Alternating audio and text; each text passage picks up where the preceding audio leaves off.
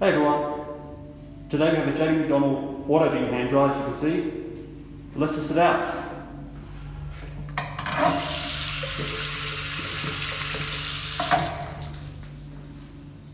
Here we go.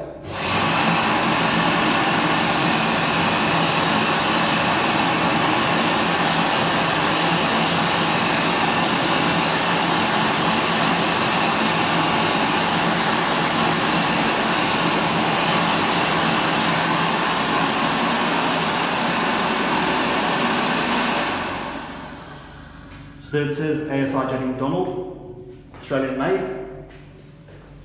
And there's what it looks like underneath. So yeah, that's about it really, and I hope you guys enjoyed. See you guys in the next episode. Goodbye.